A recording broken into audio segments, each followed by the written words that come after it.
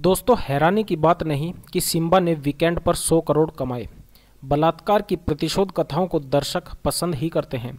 Simba में नायक औरत की इज़्ज़त के लिए कानून हाथ में लेता है। हम खलनायक की पिटाई पर तालियाँ बजाते हैं।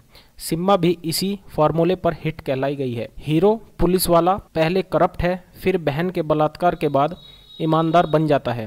पीड़ित को न्याय देने के लिए अपराधी को सजा देता है और फ़िल्म हिट हो जाती है।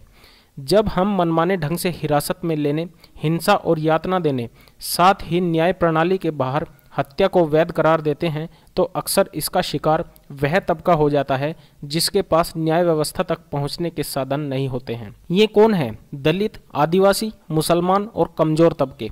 हाल ही में उत्तर प्रदेश में हुई घटनाओं के बाद सिटीजन्स अगेंस्ट हेट नामक ग्रुप ने एक शोध किया और यही पाया कि एक्स्ट्रा जुडिशियल किलिंग्स और एनकाउंटर के अधिकतर शिकार दलित और मुसलमान ही हुए हैं। राष्ट्रीय अपराध रिकॉर्ड ब्यूरो, एनसीआरबी के आंकड़े कहते हैं कि जेलों में बंद लोगों में 15 प्रतिशत मुसलमान हैं और अंडर ट्रायल में उनका प्रतिशत 20.9 है। यह देश में उनकी कुल जनसंख्या 14.2 प्रतिशत से ज़्यादा है। कुछ राज्यों में तो यह अंतराल बहुत बड़ा है। इसी तरह एनसीआरबी की रिपोर्ट यह भी कहती है कि जेलों में तिरपन प्रतिशत दलित मुसलमान और आदिवासी कैदी हैं, जबकि देश में उनकी आबादी उनतालीस परसेंट है। पुलिसिया यात्रा पर देश में कोई ठोस कानून नहीं है।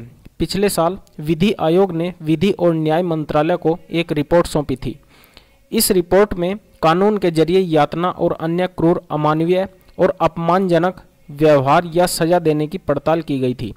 आयोग ने गौर किया था कि मौजूदा भारतीय कानूनों में यातना की कोई परिभाषा नहीं दी गई है। एक यातना रोकथाम विधेयक और मसौदा तैयार किया गया है, जिसके दायरे में पब्लिक सर्वेंट या उसकी तरफ़ से यातना देने वाले लोगों के लिए सजा तय की गई है। लेकिन अभी यह मसौदा ही है। सिम्बा जैसी फ़िल्में इस न्याय व्यवस्था से दर्शकों का भरोसा कम करती हैं। नायक हिसारी लड़ाई लड़ता है। अक्सर कानूनी दायरे को लांगते हुए उसे दर्शक फ्री हैंड देते हैं कि, चलो भैया, हमारी तरफ़ से आप उठकर खड़े हो जाओ। कभी कभी दर्शक खुद ही इंसाफ करने पर उतारू हो जाता है। तब हिंसक भीड़ ही तय कर लेती है कि कौन अपराधी है और किसे कितनी सजा दी जानी चाहिए। दर्जन भर से ज़्यादा लोग मॉब लिंचिंग के शिकार हो चुके हैं। यही भीड़ दर्शकों में बदलती है और सिम्बा को हिट और ब्लॉकबस्टर बना देती है। इसमें हैरानी की कोई बात नहीं है।